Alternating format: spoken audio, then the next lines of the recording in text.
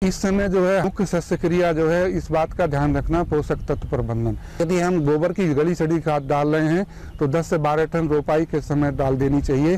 लेकिन नाइट्रोजन की जो है, हमारी मात्रा लगभग 130 से 140 किलोग्राम जो अधिक उत्पादन देने वाली फ़सलें हैं, लंबी अवधि की किस्में हैं, उनके लिए ज़रूरत पड़ती है। इसी के साथ साथ जो है 50 से 60 किलोग्राम फास्फोरस 40 से 50 किलोग्राम पोटास 20 से 25 किलोग्राम जिंक सल्फेट की।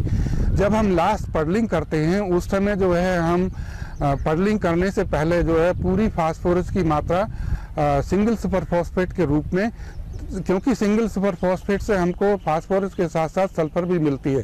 तो हमारे दोनों पोषक तत्वों की आपूर्ति सिंगल सुपर फॉस्फेट से हो जाती है।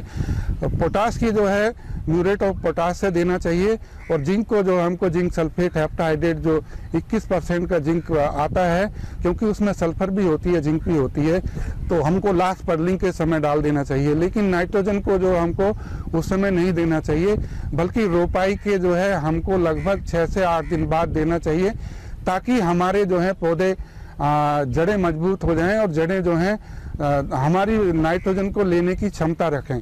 तो इस तरीके से हम नाइट्रोजन को तीन भागों में बांट कर देंगे।